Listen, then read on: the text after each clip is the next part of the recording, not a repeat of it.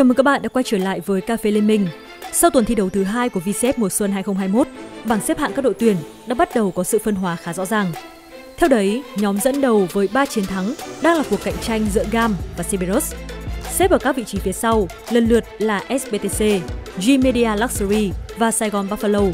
Trong khi nhóm cuối bảng bất ngờ có sự xuất hiện của Team Secret và Team Floss. Rõ ràng, giải đấu năm nay đã trở nên vô cùng hấp dẫn ngay từ những vòng đấu đầu tiên khi chênh lệch trình độ giữa các đội tuyển phần nào được thu hẹp đáng kể. Chính vì vậy, nhiều đội đã bắt đầu nghĩ tới câu chuyện bổ sung nhân sự nhằm khắc phục những điểm hạn chế về đội hình. Mới đây nhất, Cerberus đã khiến cộng đồng Liên minh huyền thoại xôn xao với việc chiêu mộ tuyển thủ người Hàn. Nếu được tạo điều kiện, anh sẽ trở thành ngoại binh đầu tiên xuất hiện tại sân chơi cao nhất của Liên minh huyền thoại chuyên nghiệp Việt Nam.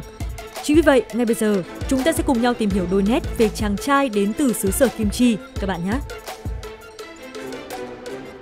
Cà phê Liên minh, cà phê nhân phẩm, cà phê tốc chiến và cà phê Valorant. Hãy subscribe, vẫn chuông thông báo để không bỏ lỡ những nội dung mới nhất từ hệ thống của chúng tôi. À mà đừng quên ghé thăm kênh của mình, Mai Tài Official để lắng nghe những bài hát mới nhất, những bản cover mà bạn yêu thích nha. Điểm qua tình hình của Cerberus trong tuần thi đấu vừa qua. Nếu như không có tình huống sử dụng cung phong linh khó hiểu của Artemis, Cerberus có lẽ đã chiến thắng với tỷ số 2-0 trước Team Secret. Ngay sau đấy, mặc dù họ chỉ phải tiếp đó một đại diện được đánh giá chẳng hề cao là Burst the Sky, thậm chí đội tuyển này không có nổi một chiến thắng sau tuần thi đấu thứ nhất. Tuy nhiên, Yado cùng đồng đội đã phải đổ mồ hôi, rồi nước mắt, chật vật để có được chiến thắng. Và suýt nữa họ đã phải nhận trái đắng nếu không có thần may mắn phù hộ. Tuy sở hữu đội hình cùng lối chơi rất mạnh, nhưng sự chủ quan nhiều khi khiến Cerberus phải đánh đủ ba ván. Nhất là Artemis, khi anh chàng này đã có rất nhiều pha xử lý khiến khán giả thót tim, ảnh hưởng đến kết quả cả trận. Bên cạnh đấy, nửa trên bản đồ cũng chưa mang lại sự yên tâm dành cho người hâm mộ khi Pool vẫn thường tỏ ra nóng vội trong các quyết định và nhiều lần bị đối phương khai thác. Trong khi vị trí đi rừng đang thực sự xáo trộn, tân binh đầy hứa hẹn Ego thì gặp vấn đề về sức khỏe chưa thể thi đấu, còn Phúc 1 và Su Hào vẫn cần thêm thời gian để bắt nhịp với giải đấu. Đứng trước tình cảnh đấy, ngay sau chiến thắng 2-1 trước BTS, Cerberus đã khiến các fan vô cùng phấn khích và có phần tò mò khi nhá hàng một bản hợp đồng mới, nhiều khả năng là bom tấn của đội tuyển. Dựa vào những dữ kiện mà Cerberus cung cấp, thì cộng đồng ngay lập tức dự đoán đây sẽ là một tuyển thủ ngoại binh, cụ thể là người Hàn Quốc. Cùng thời điểm đấy thì một fanpage khá uy tín về những tin tức chuyển nhượng là VCS English cũng đưa tin về tân binh của Cerberus. Theo những gì fanpage này chia sẻ, thì top laner người Hàn này có tên là Post. Và sau khoảng thời gian úp úp mở mở, ban lãnh đạo Cerberus đã chính thức xác nhận thương vụ mang tên Post.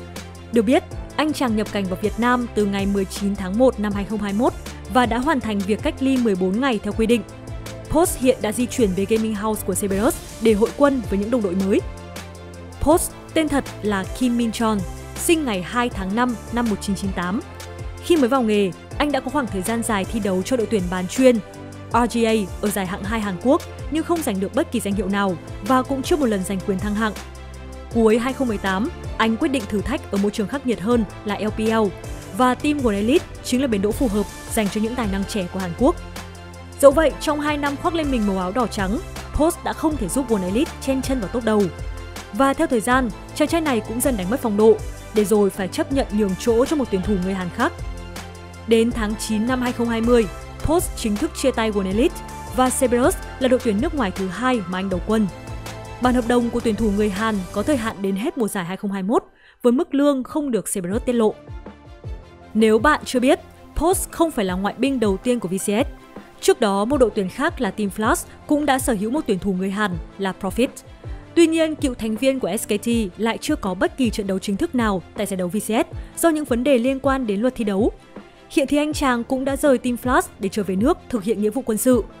Như vậy, sau khi không tìm được cơ hội ra sân, Profit đã nói lời chào tạm biệt Việt Nam. Đây cũng là bài học nhãn tiền dành cho Cerberus. Và đội tuyển này sẽ phải rất nỗ lực để Post có thể thi đấu tại giai đoạn sau của VCS mùa xuân. Theo bình luận viên Linh Cao Thủ chia sẻ, thì hiện tại VCS đã cho phép các đội tuyển dùng ngoại binh giống các khu vực khác do Riot quản lý. Tuy nhiên phải hoàn thiện đầy đủ giấy tờ liên quan đến luật lao động Việt Nam. Trong trường hợp đã cầm trên tay giấy phép lao động cũng như đáp ứng đầy đủ điều kiện để thi đấu, thì Cerberus cũng phải cân nhắc rất kỹ khi được Post vào thi đấu để có được hiệu quả cao nhất.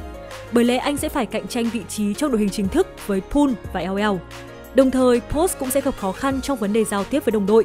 Điều này sẽ ảnh hưởng rất lớn đến việc trao đổi thông tin cũng như kêu gọi trong quá trình thi đấu. Khoảng thời gian từ giờ đến giai đoạn lượt về sẽ có rất nhiều việc mà Cerberus cần làm để Post có thể hòa nhập được môi trường mới cũng như giao tiếp được với những đồng đội.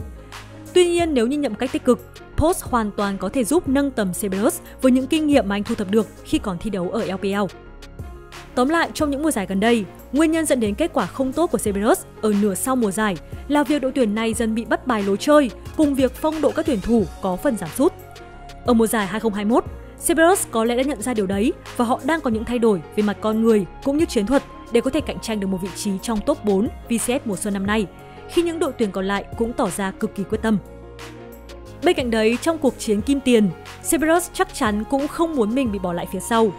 Khuyển Vương đã chính thức công bố bom tấn đầu tiên cập bến trong kỳ chuyển nhượng giữa mùa là Post. Dự kiến tuyển thủ người Hàn sẽ thi đấu ở đường trên giai đoạn lượt về VCS mùa xuân 2021. Dẫu vậy, chúng ta vẫn phải chờ xem liệu Post có trở thành ngoại binh đầu tiên thi đấu tại VCS được không. Lúc này, Cerberus đang nhanh chóng làm việc với ban tổ chức để đưa ra quyết định về việc dùng ngoại binh tại giải đấu Liên minh huyền thoại hàng đầu Việt Nam. Ở mùa trước, Profit chính là thương vụ gây xôn xao dư luận khi nhà đương kim vô địch sẵn sàng chơi lớn trên thị trường chuyển nhượng. Dẫu vậy, Profit chỉ đảm nhận vị trí trợ lý huấn luyện và streamer của Team Flash. Sau Profit, Post là tuyển thủ người Hàn thứ hai tới Việt Nam. Không như người đồng hương trước đó, anh chàng này đang nhận được nhiều sự quan tâm hơn bởi việc cho phép dùng ngoại binh sẽ giúp tuyển thủ Việt Nam có cơ hội cọ sát với đối thủ mạnh nhiều hơn. Từ đấy chất lượng giải đấu cũng đi lên và tính cạnh tranh sẽ tăng. Giải đấu cũng vì thế mà phát triển hơn.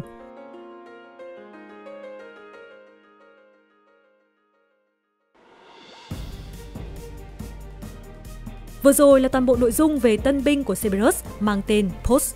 Đây cũng là tuyển thủ ngoại quốc thứ hai đầu quân cho một đội Việt Nam. Việc chiêu mộ ngoại binh đã không còn quá xa lạ trong nền esports nói chung, nhưng với Việt Nam, việc đón chào người chơi có quốc tịch khác còn rất mới mẻ. Với sự phát triển nhanh chóng của nền thể thao điện tử nước nhà, đội tuyển Cerberus Esports đã quyết định mang về Post, tuyển thủ đường trên người Hàn. Trước khi gia nhập Cerberus, Post từng thi đấu trong màu áo của tuyển World Elite thuộc LPL. Mong rằng với những kinh nghiệm của mình, Post sẽ thổi một làn gió mới đến với VCS. Hy vọng tin tức kể trên sẽ giúp cho những bạn nào quan tâm đến Liên minh huyền thoại Việt Nam kịp thời cập nhật tình hình các đội tuyển. Ngoài ra, đây cũng là cơ hội quý báu để quảng bá hình ảnh đất nước, con người cũng như máy chủ Việt Nam đến với các game thủ và cộng đồng quốc tế. Cuối cùng, sau khi xem xong video, các bạn có suy nghĩ gì thì hãy để lại ý kiến cá nhân cho Cà phê Liên minh được biết. Và đừng quên like, share và subscribe bởi vì nó free nhá. Xin chào và hẹn gặp lại các bạn ở những video tiếp theo.